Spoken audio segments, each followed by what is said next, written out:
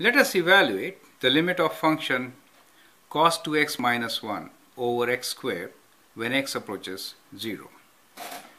Now, if you remember, what is cos 2x equals to? Cos 2x is equals to 2 cos square x minus 1. It is also equals to 1 minus 2 sine square x, right?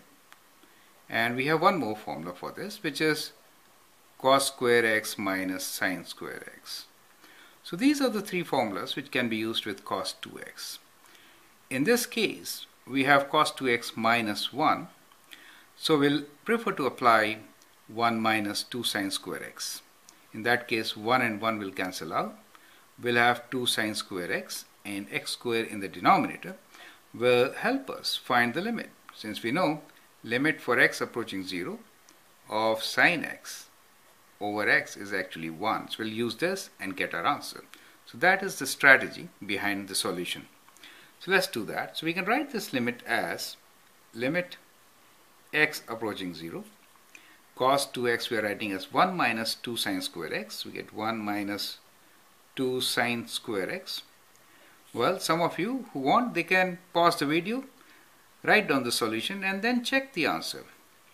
So we are writing cos 2x as 1 minus 2 sine square x and then we have minus 1 over x square.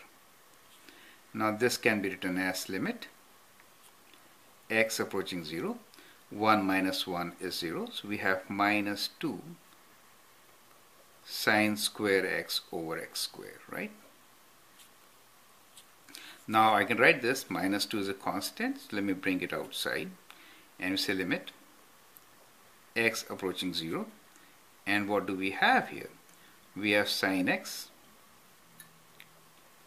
over x whole square right? Now limit of sine x over x is actually 1 so we can write this as minus 2 and within bracket we'll write limit x approaches 0 for sine x over x whole square. You see that now this is 1 and therefore we get our answer which is minus 2.